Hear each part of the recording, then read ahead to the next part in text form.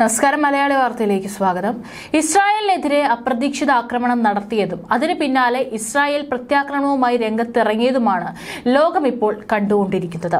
ആക്രമണങ്ങളിൽ നിരവധി പേർക്ക് ജീവൻ നഷ്ടപ്പെട്ടു. അതിനിടെ പലസ്തീൻ ആശുപത്രിക്ക് നേരെയുണ്ടായ ആക്രമണത്തിൽ നിരവധി പേർ കൊല്ലപ്പെട്ടിരുന്നു. ഇതിനെതിരെ പല രാജ്യങ്ങളും ഇസ്രായേലിനെതിരെ രംഗത്തെത്തുകയും ചെയ്തിരുന്നു.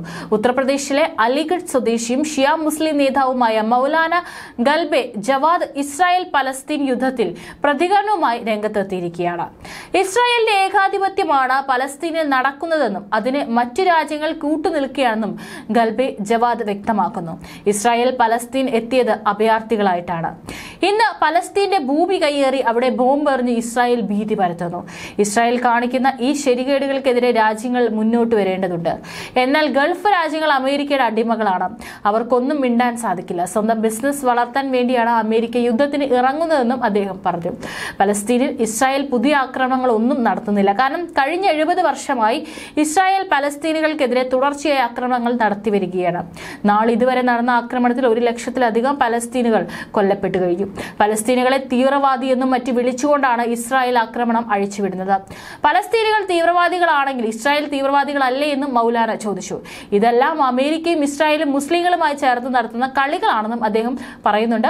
അറബ് രാജ്യങ്ങളെല്ലാം ഇന്ന് അടിമത്തത്തിലാണ്. അമേരിക്കയുടെ അടിമ എന്നതിൽ കവിഞ്ഞ ഒരു പദവിയും അറബ് രാജ്യങ്ങൾക്ക് ഇന്നില്ല. ഒരർത്ഥത്തിൽ അവർ കാരണമാണ് പലസ്തീനുകൾ കൊല്ലപ്പെടുന്നത്. ആയുധങ്ങൾ വിൽക്കാനുള്ള സാഹചര്യം ഒരുക്കുകയാണ് അമേരിക്ക ചെയ്യുന്നത്. ആയുധങ്ങൾ വിൽക്കുമ്പോൾ മാത്രമാണ് അമേരിക്കൻ സമ്പദ് വ്യവസ്ഥ പുഷ്ടിപ്പെടുന്നതെന്നും മൗലാന ചൂണ്ടിക്കാട്ടി.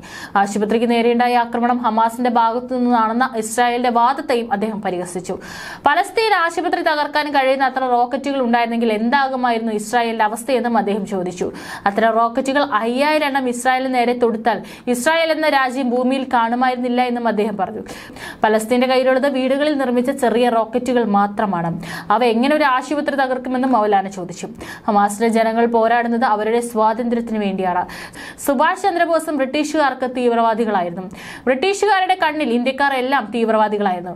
എന്നാൽ നമുക്ക് അവർ സ്വാതന്ത്ര്യ സമര സേനാനികളാണ്. ആദ്യം ഈ യുദ്ധം അവസാനിപ്പിക്കുകയാണ് വേണ്ടത്. യുദ്ധം നിർത്തിയില്ലെങ്കിൽ ശവങ്ങൾ ഭക്ഷിക്കേണ്ടി വരുമെന്നും മൗലാന പറഞ്ഞു.